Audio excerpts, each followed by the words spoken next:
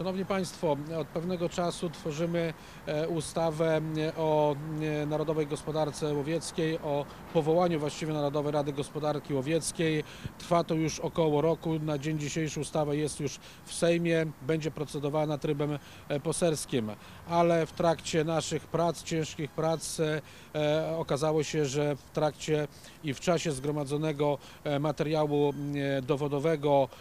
który świadczył o złym prowadzeniu gospodarki łowieckiej, okazało się, że zachodzi również poważne podejrzenia popełnienia przestępstwa korupcji, e, popełnienia przestępstwa przez funkcjonariuszy nie tylko Polskiego Związku Łowieckiego, ale w tle mamy tutaj takie postacie jak posłowie, senatorowie, prokuratorzy, sędziowie e, i e, częściowo biznesmeni. Także to, co dzisiaj składamy do biura e, antykorupcyjnego, to jest materiał, który udało nam się zgromadzić i być może, że będzie to e, afera jedna z większych w Polsce, dlatego że w grę wchodzą tutaj naprawdę grube miliony.